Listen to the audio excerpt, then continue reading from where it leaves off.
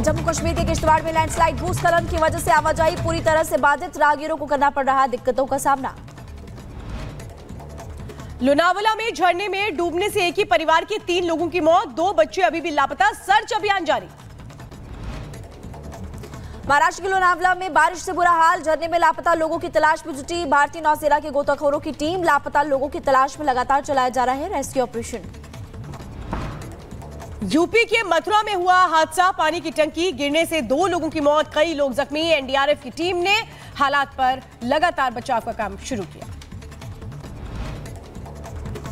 और असम में बदलते मौसम से बिगड़े हालात कई हिस्सों में लैंडस्लाइड की खबर बढ़ा ब्रह्मपुत्र नदी का जलस्तर।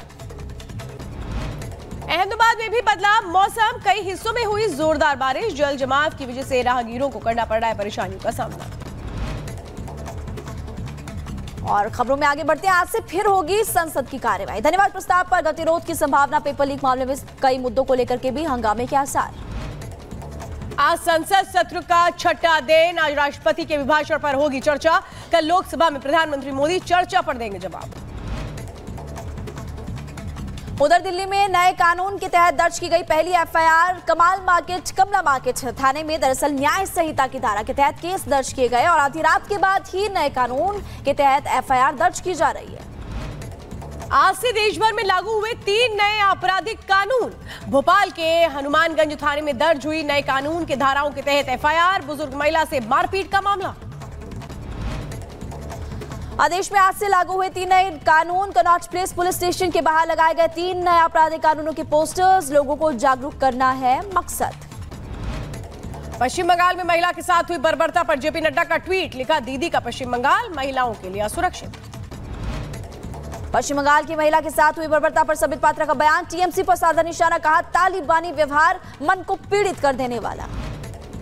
एनटीए ने नीट यूजीसी एग्ज़ाम के नतीजे किए घोषित। सुप्रीम कोर्ट के आदेश के बाद ग्रेस मार्क्स वाले छात्रों का लिया गया था री एग्ज़ाम और नीट पीजी प्रवेश परीक्षा की आज जारी हो सकती है। नई तारीख परीक्षा से 12 घंटे पहले नीट पीजी परीक्षा स्थगित कर दी गई थी।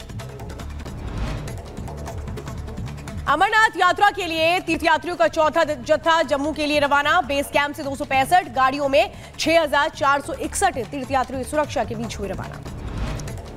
और फिर विवादों में घिरे कथावाचक प्रदीप मिश्रा बरसाने के बाद बैतूल में विरोध माँ ताप्ती पर टिप्पणी करने से अब लोगों की नाराज़गी झेलने यूपी में डीजीपी प्रशांत कुमार से मिले आईएएस मनोज कुमार दोनों के बीच हुई शिष्टाचार भेंट। उत्तर प्रदेश के बुलंदशहर में मामूली विवाद पर दो पक्षों में खूनी संघर्ष हुआ। जमकर लाठी डंडे चले पथराव हुआ कई लोग घायल हुए। सोशल मीडिया पर तस्वीरें जमकर हो रही वायरल। एटा में दरवाजे पर खड़ी महिला के साथ दबंगों ने की मारपीट। अभद्रता करने का वीडियो सोशल मीडिया पर वायरल। गाँव के ही दबंगों ने महिला के साथ की मारपीट। उत्तर प्रदेश के सीतापुर में मानवता शर्मसार हुई। प्रॉपर्टी के लालच में आई थी। अर्थी रोककर मृतक की पत्नी और बेटी और दामाद को पीटा। अब तस्वीरें सोशल मीडिया पर जमकर वायरल हो रही है। अंबेडकर नगर में पुलिस ने की बड़ी कार्रवाई। हमला और तोड़फोड़ करने वाले तीनों आरोपियों को किया गिरफ़्तार। पकड़े गए आरोपियों से पूछताछ जारी। राजस्थान के धौलपुर में बदमाशों के हौसले बुलंद है। टोल मैनेजर के साथ स्टाफ को दी धमकी छीन कर भागे दस हज़ार रुपए।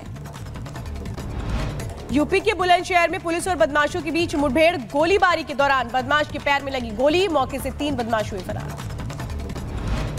और उत्तर प्रदेश के संभल में ग्रामीण बैंक के असिस्टेंट मैनेजर की संदिग्ध परिस्थितियों में मौत मृतक के सिर में लगी गोली हाथ में मिला तमंचा जाँच में जुटी पुलिस।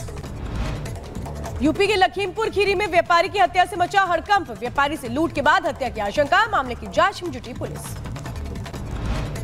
और बिहार की मुजफ्फरपुर में पुलिस ने छापेमारी की कार्रवाई की। पुलिस ने अपराध की योजना बनाने वाले एक बदमाश को किया गिरफ़्तार।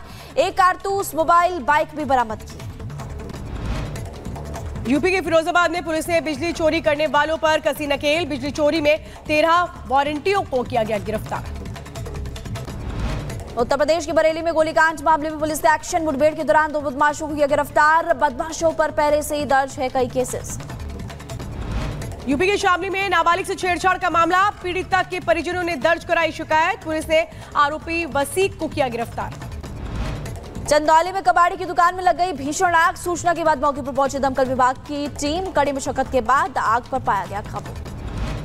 रायबरेली में आवारा पशुओं से टकराया बाइक सवार, गंभीर रूप से हुआ जख्मी। घायलों के परिजनों को पुलिस ने दी सूचना।